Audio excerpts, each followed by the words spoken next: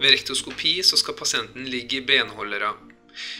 Smør skopet godt med gel. Før så skopet inn, sikt oppover mot navlen. Før inn hele den hvite tuppen. Deretter tas obturatoren ut.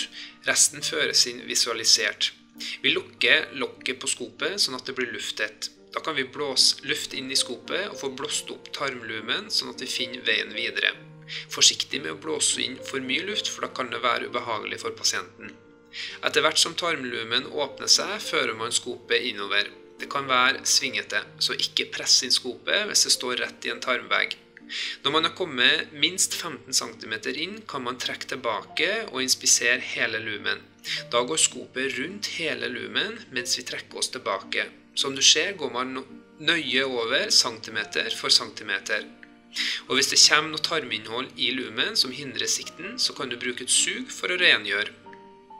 Helt ved slutten så ser vi ekstra nøye over, for der kan det være indre hemoroider.